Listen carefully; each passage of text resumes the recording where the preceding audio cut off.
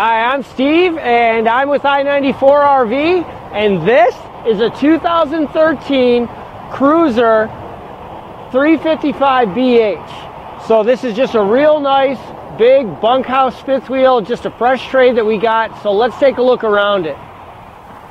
All right, Crusader uh, definitely gets some good reviews in the marketplace. Very good fit and finish, good quality. Uh, got this nice storage here. And this is kind of cool because the compartment door is held up with magnets, so you just put it up and it stays. Um, nice big storage and also slam latches, so it shuts like a car door. Real cool setup. Uh, you got a nice big Dometic awning. You got outside speakers, so just a real well, a nice setup. This is also a great feature. Uh, it's a bath and a half model, and the bathroom is accessed from either outside or inside in the back room. So it's just a real universal setup. Outside kitchen, so that's great. Got some drawer storage here, range top, and then a refrigerator. So you can put some stuff out here. All right, overall, this uh, fifth wheel looks to be in good shape. I don't see any damage on the back here. Um, these are electric rear jacks for uh, stabilizing, so that makes life easy and this is a mount for the grill. Also, this coach has a ladder. It's a real cool feature. And then uh, this is a uh, weather tight uh, 110 volt 50 amp hookup. All right, all kinds of slide out rooms on this coach. They all work real good. We've tested all the major systems. Uh, this is the water heater right here.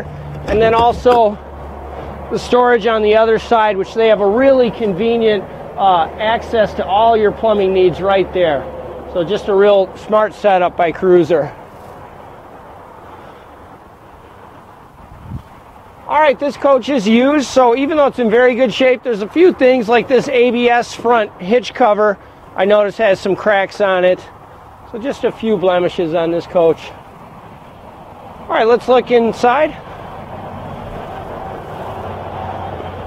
Nice big grab handle, three tier steps, so easy entry.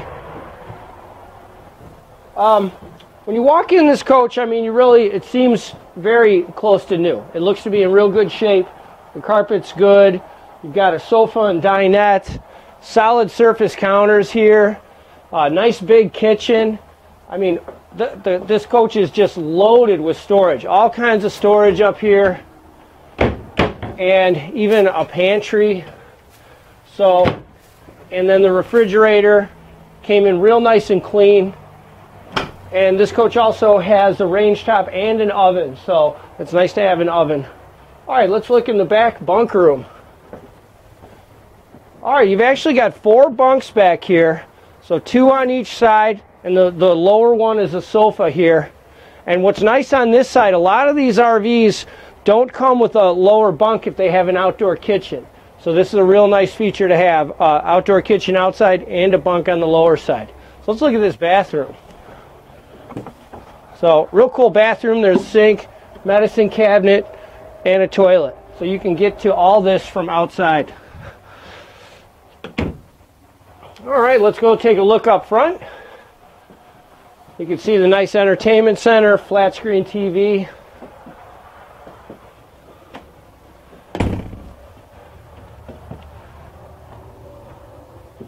right, up in the front, got big closet up front.